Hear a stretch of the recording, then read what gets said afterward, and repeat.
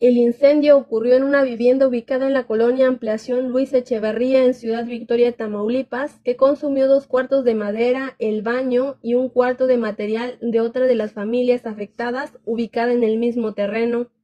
En ese lugar vive Rosalba González Lara, madre de familia que trabaja en la venta de dulces, aguas y cocas en el parque de la colonia. Todo se quemó. Mm. Pues simplemente pues para sus útiles, útiles escolares, pues su cama, que pues prácticamente se quemó todo. Con esfuerzo se hizo todo eso y pues se perdió.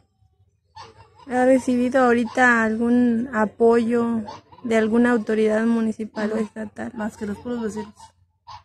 Los vecinos son los que están apoyando pues con ropa. ¿verdad?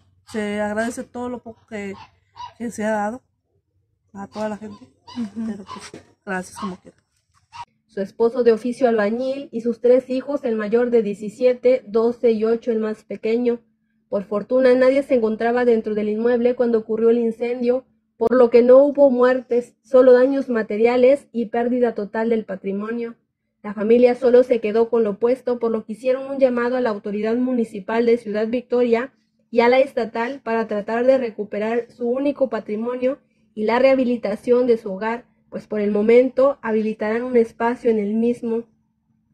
Además, solicitaron el apoyo de los victorenses ante el fatal accidente y su colaboración para la donación de electrodomésticos, ropa, útiles escolares para los niños, agua embotellada y alimentos perecederos.